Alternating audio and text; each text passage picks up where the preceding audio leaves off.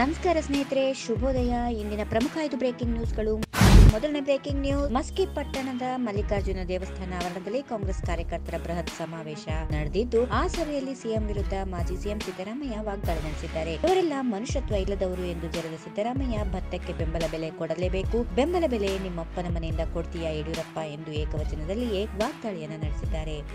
ಎರಡನೇ breaking news. ಶೀಘ್ರವೇ BJP ಸಚಿವರು ಕೆಲವರು ಕಾಂಗ್ರೆಸ್ ಪಕ್ಷ ಸೇರುತ್ತಿದ್ದಾರೆ ಎಂದು ಕೆಪಿಸಿಸಿ ಅಧ್ಯಕ್ಷ ಡಿಕೆ ಶಿವಕುಮಾರ್ ಸುಳಿವು ನೀಡಿದ್ದಾರೆ. ಅವರ ಜೊತೆಗೆ ನಾಯಕರು ಬರ್ತಿದ್ದಾರೆ ಎಂದಿದ್ದಾರೆ. ಕಾಂಗ್ರೆಸ್ನಿಂದ ಬಿಜೆಪಿಗೆ ಹೋಗುವವರು ಯಾರೂ ಇಲ್ಲ. ಬಿಜೆಪಿಯಿಂದಲೇ ಕಾಂಗ್ರೆಸ್ಗೆ ಬರುತ್ತಾರೆ ಎನ್ನುವ ಸುದ್ದಿ ಡಿಕೆಶಿ ನೀಡಿದ್ದಾರೆ.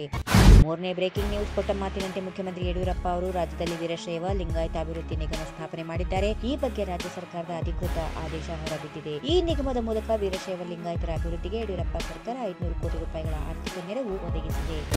ನಾಲ್ಕನೇ ಬ್ರೇಕಿಂಗ್ ನ್ಯೂಸ್. ಮಾಸ್ಕಿ ಕ್ಷೇತ್ರದಲ್ಲಿ ಕಳೆದ ವಿಧಾನಸಭಾ ಚುನಾವಣೆ ವೇಳೆ ಬಿಜೆಪಿಯಿಂದ ಸ್ಪರ್ಧಿಸಿ ಸೋಲುಂಡಿದ್ದ ಬಸನಗೌಡ ತುರಿವಿಹಾಳ್ ಕಾಂಗ್ರೆಸ್ ಸೇರ್ಪಡೆಗೊಂಡಿದ್ದಾರೆ ಈ ಬಗ್ಗೆ ರಾಜ್ಯ ಬಿಜೆಪಿ ಉಪಾಧ್ಯಕ್ಷ ಬಿವೈ ವಿಜಯೇಂದ್ರ ಪ್ರತಿಕ್ರಿಯೆ ನೀಡುತ್ತಾ, ಮಸ್ಕಿ ಉಪಚುನಾವಣೆಗೆ ಕಾಂಗ್ರೆಸ್ಗೆ ಅಭ್ಯರ್ಥಿಯೇ ಸಿಕ್ಕಿಲ್ಲ ಎಂದ್ರೆ ನಾಚಿಕೆಗೇಡು ಎಂದು ಕುಟುಕಿದ್ದಾರೆ. ಮಸ್ಕಿಯಲ್ಲಿ ಕಾಂಗ್ರೆಸ್ ಯಾರನ್ನೇ ಅಭ್ಯರ್ಥಿಯನ್ನಾಗಿ ನಿಲ್ಲಿಸಿದ್ರು ಆ ಕ್ಷೇತ್ರವನ್ನು ಹೇಗೆ ಗೆಲ್ಲಬೇಕು ಎನ್ನುವ ತಂತ್ರವನ್ನ ನಮ್ಮ ಪಕ್ಷದ ರಾಜ್ಯಾಧ್ಯಕ್ಷರು ಮತ್ತು ಮುಖ್ಯಮಂತ್ರಿಗಳು ಮಾಡುತ್ತಾರೆ ಎಂದು ವಿಶ್ವಾಸ ವ್ಯಕ್ತಪಡಿಸಿದ್ದಾರೆ.